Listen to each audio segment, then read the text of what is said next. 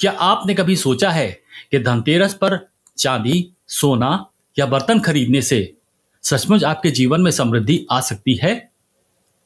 क्या सिर्फ़ पूजा करने से आपके घर में लक्ष्मी स्थायी रूप से निवास करने लगेंगी?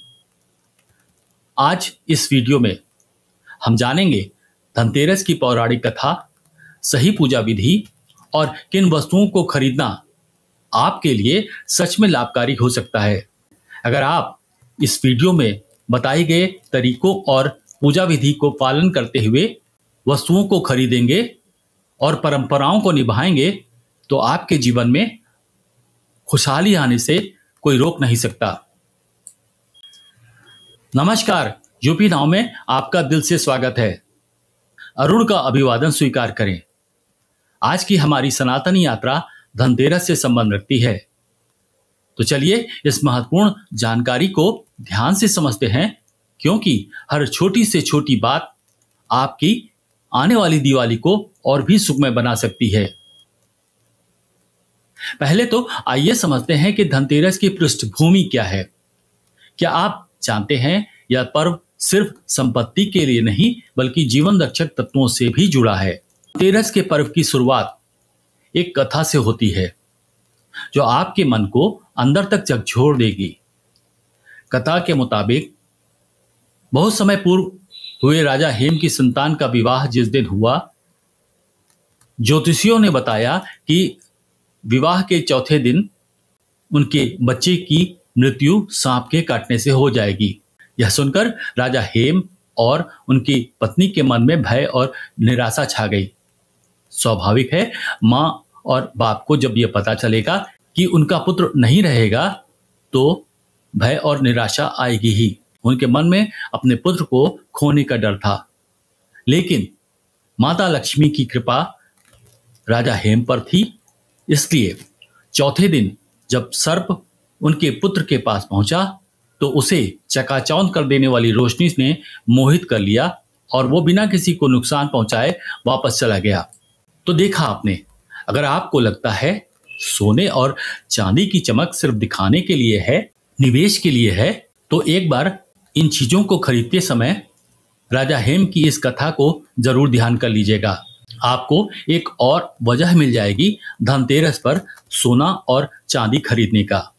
अब जब आपने कथा समझ ली तो अगला सवाल उठता है कि इस धनतेरस पर पूजा कैसे करनी चाहिए, ताकि माता लक्ष्मी आपके घर में स्थायी रूप से निवास करती रहें।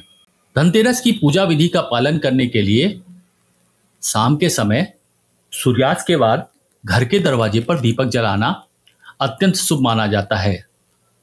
सबसे पहले भगवान धनवंतरी का स्मरण करें और उनके चित्र के सामने दीप जलाएँ। यह आपके स्वास्थ्य और आपके जीवन में शांति लाने में मदद करेगा। माँ लक्ष्मी और भगवान कुबेर का पूजन करके उनके सामने शुद्ध चावल, फूल और मिठाई अर्पित करें। आपने देखा कि हमने बताया कि लक्ष्मी और कुबेर की पूजा एक साथ करें। और शास्त्रीय रूप से ये दोनों भगवान आपस में जुड़े नहीं हैं। इसलिए आपके मन में सवाल हो सकता है कि माता लक्ष्मी और कुबेर देवता को एक साथ क्यों पूजना चाहिए? दरअसल, ये दोनों देवी देवता धन और वैभव के प्रतीक माने जाते हैं। और इस दिन की पूजा आपके जीवन में स्थायी सुख समृद्धि का मार्ग खोल देती है। अंत में, घर के हर कोने में एक छोटा सा दीपक रखें ताकि लक्ष्मी जी आपके घर में प्रवेश कर सकें। अब जब आपकी पूजा खत्म हो गई है, आपने सही तरीके से पूजा को संपन्न कर लिया है तो आपके मन में सवाल होगा कि आखिर बर्तन या धातु की वस्तुएँ खरीदने से माता लक्ष्मी क्यों प्रसन्न होती हैं? चलिए, अगले हिस्से में इसका भी रहस्य खोलते हैं। अब आते हैं इस प्रश्न पर कि इस दिन कौन कौन सी वस्तुएँ खरीदी जाएँ, जिससे न सिर्फ़ लक्ष्मी का आशीर्वाद मिले, बल्कि आपके घर में बरकत बनी रहे। धनतेरस पर सोना, चांदी, बर्तन और यहाँ तक कि वर्तमान समय में इलेक्ट्रॉनिक आइटम भी खरीदने की परंपरा है। पर क्या आप जानते हैं इन चीज़ों को खरीदने के पीछे जो परंपरा चली है उसको बनाने वाले ऋषियों के मन में क्या सोच रही होगी? एक एक करके समझते हैं। सोना और चांदी। इन धातुओं को घर में लाने से समृद्धि और उन्नत के संकेत मिलते हैं। खासकर सोना सौभाग्य का प्रतीक माना जाता है और चांदी ठंडक और धैर्य का। बर्तन। बर्तन खरीदने से घर में भोजन की कभी कमी नहीं रहती। यह परिवार की खुशहाली का प्रतीक है। Electronic item. वर्तमान में इलेक्ट्रॉनिक्स आइटम भी लक्ष्मी जी का रूप माने जाते हैं, क्योंकि इससे आपके कार्यक्षेत्र में वृद्धि होती है। तो अगर आपकी घर की देवी बहुत दिनों से आपसे कुकिंग रेंज खरीदने की बात कह रही हैं तो आप धनतेरस पर उसे खरीद सकते हैं, क्योंकि यह एक धार्मिक निवेश तो है ही, साथ ही लक्ष्मी जी का भी एक रूप है।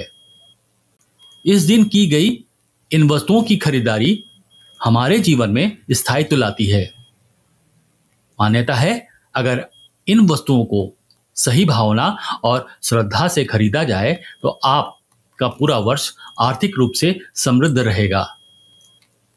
अब जब आप धनतेरस की कथा, पूजन की सही विधि और खरीदारी के लाभों को जान चुके हैं तो आने वाले इस पर्व को पूरी श्रद्धा के साथ मनाइएगा, ताकि लक्ष्मी माता का आशीर्वाद आपके जीवन को नई ऊंचाइयों पर पहुँचा सके। अगर आपको ये वीडियो पसंद आया हो तो अगला वीडियो ज़रूर देखिएगा, जिसमें हम बताएँगे दिवाली पर सही तरीके से लक्ष्मी पूजन का महत्व और रहस्य। इस सीज़न को और भी खास बनाइए, हमारे चैनल को सब्सक्राइब करिए, ताकि हर पावन पर्व पर आपको सही मार्गदर्शन मिलता रहे। इस वीडियो के प्रायोजक हैं पोस्टर व मैप होम। किसी भी प्रकार के धार्मिक poster, map, handmade herbal soap व सुगंधित डिज़ाइनर मोमबत्ती खरीदने के लिए दिए गए व्हाट्सएप नंबर पर संपर्क करें। आपको ये वस्तुएँ यहाँ पर बाज़ार से अच्छे दामों पर उपलब्ध हो सकेंगी।